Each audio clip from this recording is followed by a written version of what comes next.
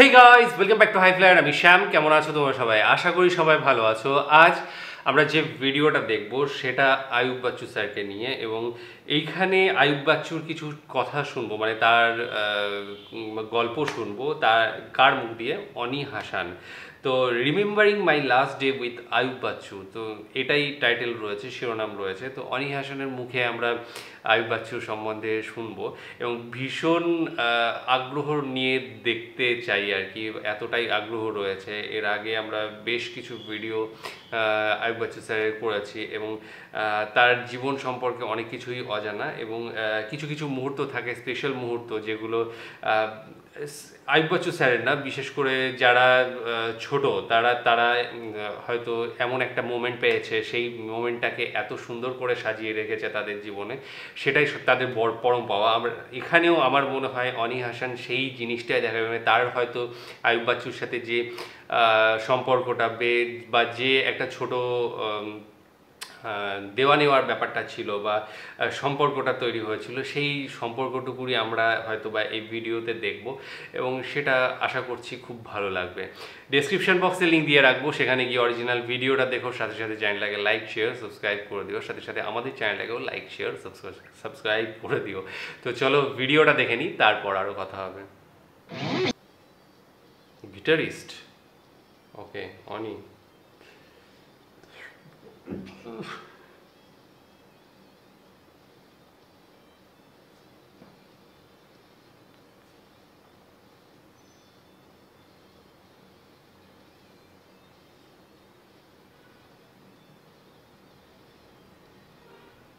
is also a good guitarist.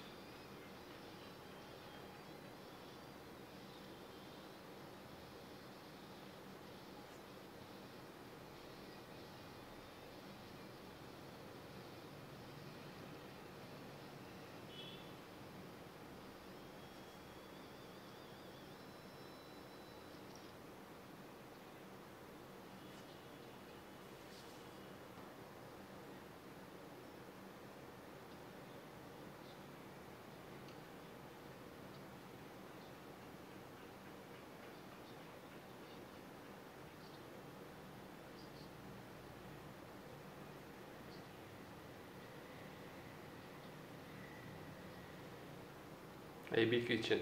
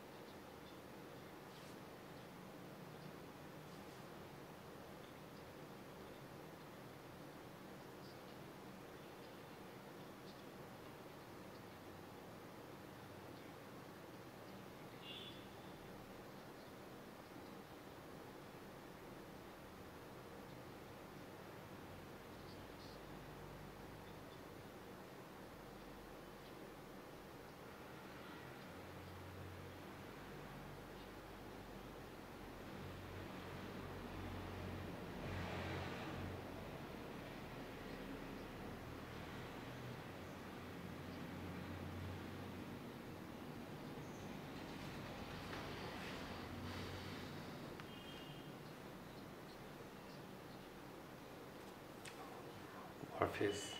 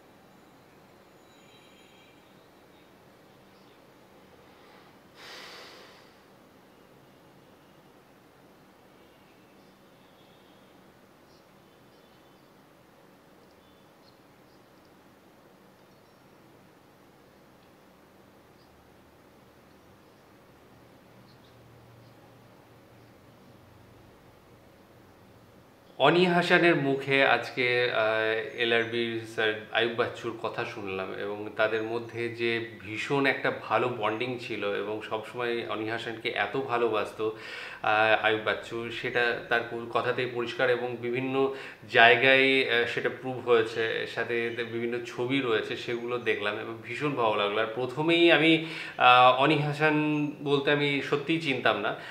যখনই guitar নিয়ে ঢুকছে মানে গিটার বাজিয়ে ভিডিওটা শুরু করছে, তখনই মনে হয়েছিল যে, না, একজন ভালো গিটারিস্ট। আমি প্রথমেই বলেছিলাম, খুব ভালো একজন গিটারিস্ট মনে হচ্ছে। তো পরে যখন নিজের পরিচয় দিলেন দিল আর কি, তখন থেকে বুঝতে পারলাম যে আচ্ছা এটা ওয়ারফেজের একজন অন্যতম সদস্য। ওয়ারফেজের খুব একটা ভিডিও আমার মনে হয় না কোনো ভিডিও আমি করেছি ওয়ারফেজের তবে সাজেশন এসেছিল বিভিন্ন কপিরাইটের প্রবলেম রয়েছে। আমি আগে দেখে নিই ভিডিওগুলো যে কপিরাইটের প্রবলেম রয়েছে কিনা, কারণ না হলে পরে প্রবলেম হয়। তো যাই হোক তাদের মধ্যে যে একটা গুড রিলেশন ছিল এবং মানে নিজের ভাইয়ের মতোই ভালোবাসা যেটা, সেটা কিন্তু আমার মনে হলো যে তার কথা থেকেই মনে হলো এবং স্টেজে ডেকে নেওয়া, ওই যে ভিড়ের মধ্যে থেকে স্টেজে ডেকে নেওয়া, তারপরে তার হাতে তুলে দেওয়া এবং সত্যি কথা বলতে কি বড় বড় যারা শিল্পী রয়েছেন, তারা মনটাও কিন্তু অনেক বড় হয় এবং এই যে বিনা স্বার্থে একজনকে প্রমোট করা, এই মানে স্টেজে নিয়ে গিয়ে একজন এত বড় গুণী শিল্পী আরেকজনকে প্রমোট করছে, তাকে স্টেজটা ছেড়ে দিচ্ছে যে তুই আয়, তুই বাজা একটু। এটা অনেক বড় পাওয়া। আর সাথে তার বাড়িতে গিয়ে যে প্র্যাকটিস যে মানে এমনি এমনি তো লেজেন্ড হয়ে যায় না মানুষ। লেজেন্ড হতে গেলে মানে নিজের অবশ্যই একটা ট্যালেন্ট থাকে যেটা ওপর থেকে আসে। কিন্তু নিজেকেও যে প্র্যাকটিসটা করতে হয়, সেটা কিন্তু করতে হয়। স্যারের বাড়িতেই যে স্টুডিও রয়েছে এবি কিচেন তো সেখানে যে তিনি এত পরিমাণ প্র্যাকটিস করতেন সেটা বোঝা যাচ্ছে সমস্ত জায়গাতেই মোটামুটি ইনস্ট্রুমেন্টের জিনিসপত্র ছড়িয়ে থাকতো। আর সাথে অনি হাসানের যে ঘটনাগুলো বাই মানে ফিরিয়ে আসতে বলে- বলেছিল যে কোথাও যাচ্ছিল হয়তো, টিকিট টিকিট সব কাটা হয়ে গিয়েছিল, তো ফির- ফিরতে পারেনি। পরে সেই কষ্টটা পেয়েছে, কারণ ফেরার পরে হয়তো বা যেটুকু যেটুকু বুঝতে পারলাম আয়ুব বাচ্চুর সাথে দেখা হয়নি বা কথা হয়নি, কারণ ততদিনে, ততক্ষণে তিনি পরলোক চলে গিয়েছেন। তো খুব খারাপ লাগে এই সমস্ত জিনিসগুলো যখন একটা মানুষের সাথে কথা হয় যে, আমি আসছি, আমি এসে তোমার সাথে দেখা করব বা পারফর্ম করব। সেই মানুষটাকে যদি ফিরে এসে না পাওয়া যায়, সেই কষ্টটা অনেক অনেক বেশি। আর তার উপরে এত বড় একজন লেজেন্ড মানুষ, যে নিজে বলেছিল এবং তার সাথে কাজ করার জন্য, তার স্টেজে আসার জন্য, সেই মানুষটাকে যদি এইভাবে চলে যেতে হয় মানে তার সাথে দেখা না করতে পারি, তাহলে তখন কিন্তু একটা ভীষণ খারাপ লাগে। মনে মনে, মনের ভিতরে একটা পাথর বসে যায়। তো সেই জিনিসটা আমার মনে হয়েছে হয়েছে অনি হাসানের। ভীষণ ভালো লাগল। এই ধরনের আমি পুরো ডুবেছিলাম কথাবার্তাটার মধ্যে। এত সুন্দর সুন্দর কথাবার্তা ছিল, এত মেমোরিজ দেখাচ্ছিল সেখানে। ছবি ছবি ছবি টবিগুলো দেখছিলাম। খুবই ভালো লাগছিল। তো যাই হোক, আশা করি তোমাদেরও ভালো লেগেছে এবং ডিসক্রিপশন বক্সে অবশ্যই লিঙ্ক দিয়ে রাখব। তোমরা অরিজিনাল ভিডিওটা দেখো, সাথে সাথে চ্যানেলটাকে লাইক শেয়ার সাবস্ক্রাইব করে দিও। আজকের মতো এখানে শেষ করছি। আগামী দিন আবার আসব অন্য কোনো ভিডিও নিয়ে। ততক্ষণের জন্য স্টেটিউন